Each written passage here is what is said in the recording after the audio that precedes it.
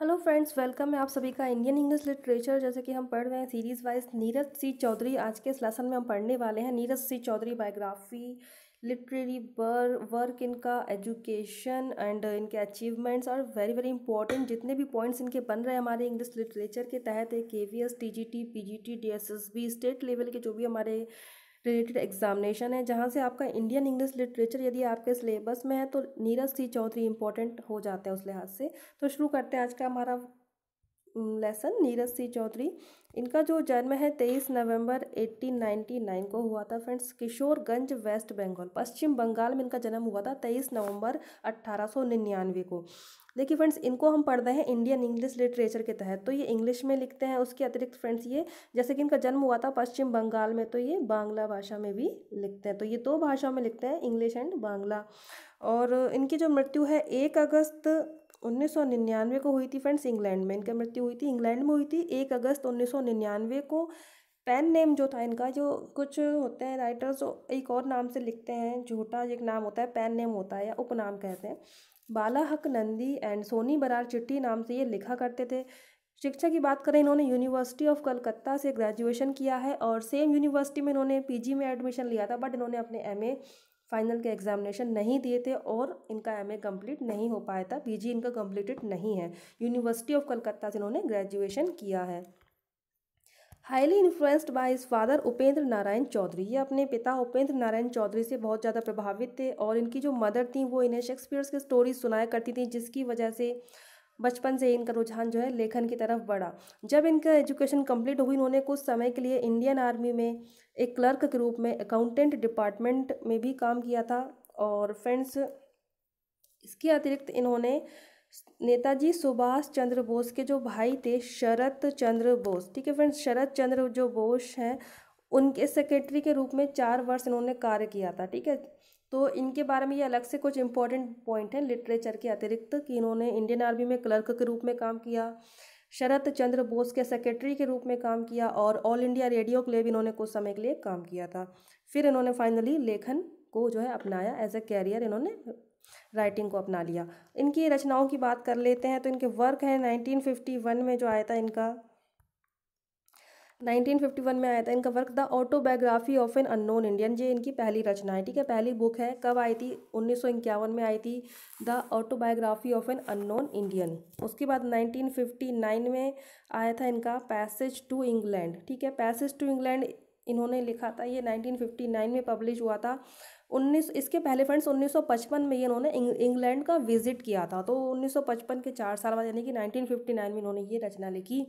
1965 में इन्होंने लिखा था, the continent of Circe friends. देखिए, ये जो इनकी रचना है, इस वर्क के लिए इनको the Duff Cooper memorial prize से नवाजा गया था। द कॉन्टिनेंट ऑफ़ सर्क रचना के लिए इनको मिला था the Duff Cooper memorial prize. 1967 में इनकी रचना आई थी, the intellectual in India. The intellectual in India. Very very important है ये सारी रचनाएँ। पहली इंपॉर्टेंट हो जाती है 1951 में आई थी autobiography of an unknown Indian और passage to England very very important है। यहाँ से इनके क्वेश्चन बहुत बनते हैं। आप पैसेज टू इंग्लैंड किसकी रचना है? तो नीरद सी चौधरी की है। और फ्रेंड्स जो खुशवंत सिंह हैं, जो हमारे इंडियन इंग्लिश लिटरेचर के तहत जिनको हम पढ़ चुके हैं, खुशवंत सिंह, वो इनके फ्रेंड थे। ठीक है फ्रेंड उसके बाद इनकी और भी जो रचनाएँ हैं 1971 में आई थी टू लिव और नॉट टू लिव 1974 में स्कॉलर एक्स्ट्रा ऑर्डिनरी। देखिए, ये एक बायोग्राफी है और बायोग्राफी किसके ऊपर लिखी है इन्होंने? फ्रेडरिक मैक्स मुलर के ऊपर लिखी है। ठीक है, फ्रेडरिक मैक्स मुलर की बायोग्राफी इन्होंने लिखी है, जिसका नाम है स्कॉलर एक्स्ट्रा ऑर्डिनरी। और ये इंपॉर्टेंट इसलिए है, friends, the scholar extraordinary क्योंकि फ्रेंड्स 1975 में इसी रचना के लिए इनको साहित्य अकेडमी अवार्ड मिला था। ठीक है फ्रेंड्स साहित्य अकेडमी अवार्ड इन्हें 1975 में मिला था। किस रचना के लिए मिला था? स्कॉलर एक्स्ट्रा ऑर्डिनरी ये एक बायोग्राफी है मैक्स मुलर की। नेक्स्ट इनका जो रचना है 1975 में स्क्लाइव ऑफ़ इंडिया 1976 में culture in the vanity bag 1979 में Hinduism 1987 by hand, great monarch 1997 three horsemen of the new apocalypse. Collection of pre published essays इनके ऐसे का कलेक्शन भी है। The east is east and west is west and दूसरा है why I mourn of England, ये इनके ऐसे कलेक्शन है। मैगजीन से रिलेटेड इनके जो क्वेश्चंस हैं, मैगजीन्स की इनके आर्टिकल पब्लिश हुए या फिर उन्होंने खुद कौन सी मैगजीन्स की स्थापना करी तो वो हम देख लेते हैं कौन कौन से हैं वो।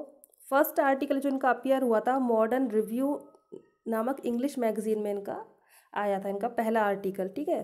किस मैगजीन में आया था? मैगजीन का नाम है मॉडर्न रिव्यू और ये एक इंग्लिश मैगजीन है। उसके अलावा इनके जो और आर्टिकल पब्लिश होते थे तो प्रवासी और सोनी बरार चिट्ठी, इन दो मैगजीनों में पब्लिश हुआ करते थे। ये बंगाली मैगजीन है। इन्होंने दो बंगाली मैगजीन की भी स्थापना की। हाँ फ्रेंड्स इंग्लिश की नहीं है या दो बंगाली, ये बंगाली भाषा में भी लिखा करते थे। तो ये इनकी दो बंगाली भाषाओं में मैगजीन इन्होंने स्थापना की थी, समसामायिक एंड नूतन पत्रिका। अचीवमेंट्स पे आ जाते हैं हम। शॉर्ट में फ्रेंड्स यहीं से हमारे क्वेश्चन बनेंगे। अच्छे से आप बिल्कुल यहीं से क्वेश्चन वाले हैं। वहीं से हमने अपने पॉइंट्स रखे हैं। कुछ एक्स्ट्रा कहानी, किस्सों की बात नहीं है। अचीवमेंट्स की बात कर लेते हैं। उन्नीस में इनको साहित्य अकेडमी अवार्ड मिला था। किस रचना के लिए? अभी मैंने आपको पहले ही बता दिया स्कॉलर एक्स्ट्रा ऑर्डिनरी ठीक है बायोग्राफी है किसकी? मैक्स मोलर की। 1990 में इनको ऑक्सफोर्ड यूनिवर्सिटी ने डी लिट की ऑनररी उपाधि दी थी। कब दी थी? 1990 में। उन्नीस सौ बानवे में इनको ये उपाधि मिली थी commander of the order of the British empire और इनको ये the Duff Cooper memorial prize भी मिला था। जैसे कि मैं आपको पहले बता चुकी हूँ, किस रचना के लिए मिला था इनको? The Duff Cooper prize, the continent of Circe के लिए। तो फ्रेंड्स, इतने क्वेश्चन किसके बारे में? हमारे नीरज सिंह चौधरी के बारे में। इनका जन्म किशोरगंज, पश्चिम बंगाल में तेईस नवंबर अठारह को हुआ था। ठीक है? और खुशवंत सिंह इनके फ्रेंड थे। शरद चंद्र बोस के सेक्रेटरी के रूप में काम किया। ऑल इंडिया रेडियो में भी इन्होंने काम किया।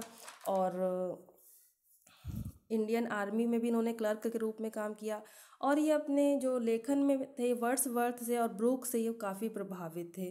ठीक है फ्रेंड्स तो इतनी बातें किसके बारे में, नीरज सिंह चौधरी के बारे में वेरी वेरी इंपॉर्टेंट पॉइंट सारे इंक्लूड किए मैंने इसमें। तो बस वीडियो देखने के लिए आप सभी का बहुत बहुत थैंक यू सब्सक्राइब नहीं किया है तो प्लीज़ सब्सक्राइब माई चैनल और फ्रेंड्स के साथ शेयर करें। जो भी आप ग्रुप्स में जुड़े हैं, वहाँ शेयर करें और अच्छे से तैयारी करें एग्ज़ाम के लिए। बेस्ट ऑफ़ लक फ्रेंड्स खुश रहिए पॉजिटिव रहिए। जय हिंद।